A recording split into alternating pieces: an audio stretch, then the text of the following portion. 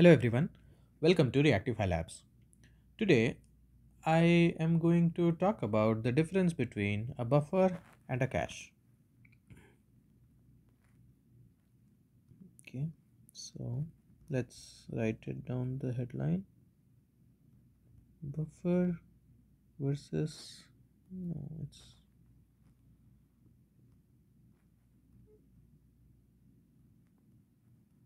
cache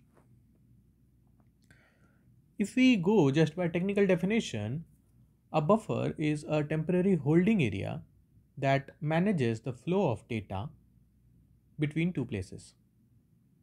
Whereas a cache is like a quick access storage that holds frequently requested items so they can be served faster. And as we know that a technical definition uh, does no good in understanding or explanation. You will memorize it and you will forget it. So, in all my videos, I try to explain using an example.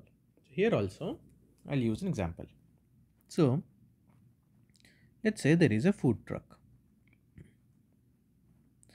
This food truck makes fast food.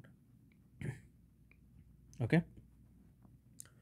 You decide to go to the food truck to observe it. Okay, this is you.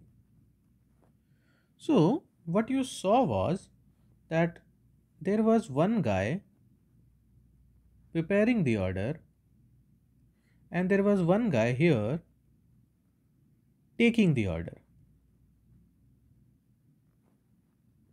Taking orders preparing orders. Okay? So what happens was this person takes the orders from multiple people and gives it to this person. Okay? What happens if this person alone does both the things? See what will happen.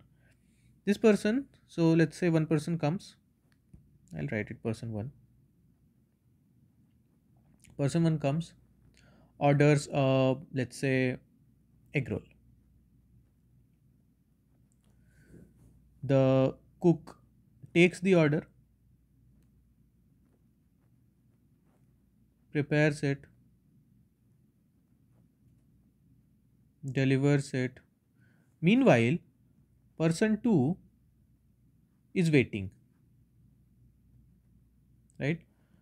The person 2 will keep waiting or this person might need to go back and forth between taking orders and cooking it which is not good both in terms of efficiency and the quality of food. Also what may happen was let's say the person one when ordered egg roll at that time before going to cook if this person if this uh, guy takes the order from person 2 as well and the person 2 also says that he also wants egg roll then this guy can uh, prepare two egg rolls two rolls together thus saving him time and saving the wait time of the customers as well right? So this is why we need two people here okay? So one person takes the order and other person just uh, just cooks it. So this person who is taking the order acts as buffer. So the person who is taking the order takes the order and passes it to the cook. And acts as buffer means it acts as a temporary holding area. It temporarily holds the order and manages the flow of order like okay if the order is coming slowly, it will pass the list to the cook slowly. If it is coming very fast, it will pass the list to the cook fast, but obviously making sure that it does not exceed the capacity or the speed of this cook.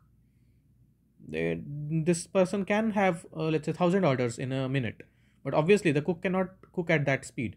So yeah, keeping that thing in mind, uh, this thing passes it right Okay. Next is, let's say you know you are the food truck owner not you the food truck owner knows that every day there is one dish let's say noodles which a lot of people take. Okay? So a lot of people prefer noodles.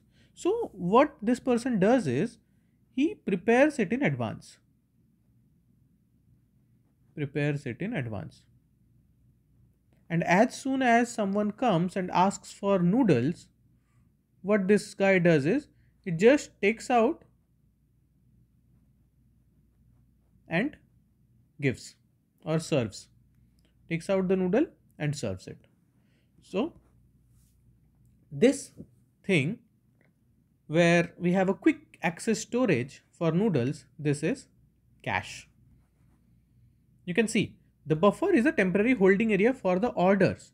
But cache is where we know that okay this order is going to come for sure. So let's fetch something in the cache and just store it there. Okay? Uh, I hope this example explains the difference between the buffer and cache. Now, if we go by technical examples, we will see that for buffer, we have multiple things. One is video streaming. So what video streaming does is it retrieves and downloads a few bytes of video from the server when streaming. Okay. So this is you. You are watching on your screen. This is the server. Let's say, let's make it like this. Okay. This is the server. Instead of your TV or computer fetching directly from the server and showing it to you, what it does is it stores it in a buffer area okay and the buffer keeps on supplying it to you so if you would notice that even if internet goes away and uh, or the light goes away then your video does not stop automatically because the buffer keeps on serving it buffer which is attached in your this device the buffer keeps on serving it uh, as long as it holds. If before this gets empty the electricity comes back or the internet comes back then you will get uninterrupted experience. If not then obviously there will be an issue. Or else if you have already downloaded the entire movie then that's a different thing. But if you are live streaming then this is the buffer which gives you the um, content steadily so let's say uh, you are watching it at say 100 mbps. And at one point there is some disturbance in the internet and the speed reduces to 100 kbps. So the screen the memory the screen which you are watching at 5 mbps which is consuming at 5 mbps let's say now this will st still consume at 5 mbps but this 100 kbps speed is going to fill this buffer slowly. But still there will be filling so you won't get any lag until this entire thing expires and this 5 Mbps becomes greater than what the amount is available in this buffer. Only then you will experience that, okay, there is a lag, there is a buffer. So every time what happens is it will wait for some time, this 100 kbps fetching, 100 kbps will fetch 5 Mbps in, 5 MB data in 50 seconds. After again 50 seconds, one screen will play for 5 MB and again it will start fetching. So this is what we call buffering. Buffering means we are fetching from the buffer. This is fetch, fetching from the buffer which is slow and that's why we are doing this buffering, right? So this is where it happens. Another very good example is uh, kernel buffer. So when an application writes to disk, it usually up to the kernel to decide whether to write it to disk or the buffer. But even if decides to write to buffer for fast access because when this kernel writes to disk, it might be slow. Instead, what it does is it writes to buffer and this buffer, once it's filled, it writes to disk in the backend so that the kernel can keep writing to the buffer fastly. Okay. So if we go by the definition, buffer is a temporary area where data is stored in the main memory or disk while moving from input system to output system. And cache, the good examples for cache are web browser cache. So your web browser cache stores data on your local computer so that it can be easily accessed. So if you notice that if you open Facebook on your browser and you close it, okay, and you turn off data, and next time you again open Facebook, then it will not show you data uh, error or mm, uh, internet connection is not there. It will show you the previously fetched page. Why? Because it's there in the cache and only when you refresh the browser it will try to fetch again and if the internet connection is not there it will not be able to fetch or if it is there it will fetch a new page for you okay next is similar to this is the data from frequently visited pages frequently visited pages right so these are the most common examples others are also if you would notice in your uh, laptop or computer, there is something called recently accessed files. If you go to your file manager, you will see a section called recently accessed files. It means this these are the files which have been fetched in the cache memory so that you can access it fast. If you notice, if next time when you go see the computer, you notice that try to open a file in the recently accessed file section and try to access one file which is not there, which is in the disk. This one will take more time. Why? Because it is being fetched from the where? Disk. But since it's already in the cache, it will be uh, fetched quickly.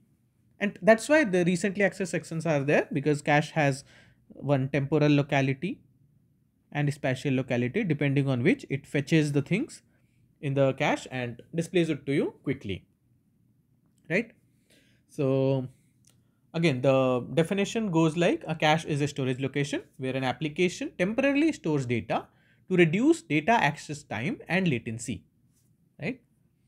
And if we have to see the technical difference between buffer and cache, so I don't think it's required, but I'm doing it. So for buffer and cache, what it does is buffer is used between processes to increase efficiency and account for speed differences. Used between processes right? Why? So that it can increase efficiency. To increase efficiency as we talked in the example of the fast food and this cache is used to store frequently accessed data.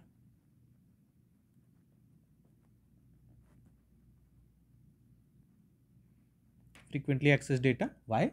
So that latency is reduced uh, as you saw in the example of fetching. Quick fetching can happen. Okay? It stores the original data.